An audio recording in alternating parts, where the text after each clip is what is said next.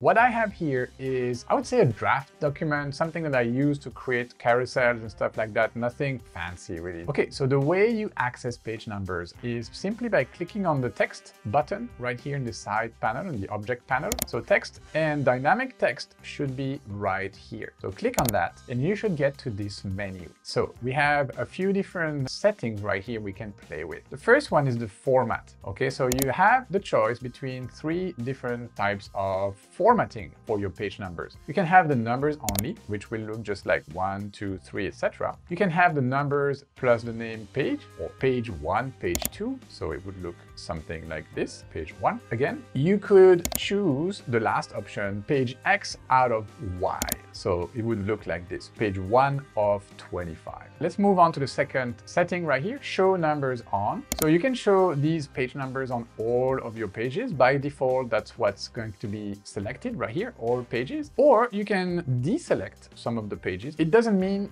the numbering will start at the first ticked box. And the last button that you have here is to apply properties to all pages. So let me show you a cool trick that I figured. Once you have decided on the formatting and which pages, okay, you click done. I'm gonna start tweaking this now because you see this page number is pretty normal, but I can edit that. All right, so this is my formatting. Pretty sure no one wants a page number like this. But what I want to show you is that you can apply properties to all pages now. Now, if you regret having so such like horrendous page numbers like I just created, you can always come back to the text button, page numbers, and remove all page numbers. Let's say you want to add pages. So this is page six, but if I add a page right here between five and six, now page six becomes page seven. That's why they're called dynamic.